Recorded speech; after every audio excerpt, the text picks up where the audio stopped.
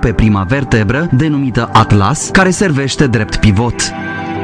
Designul său permite mișcarea de înainte-înapoi a capului, cum ar fi mișcarea pe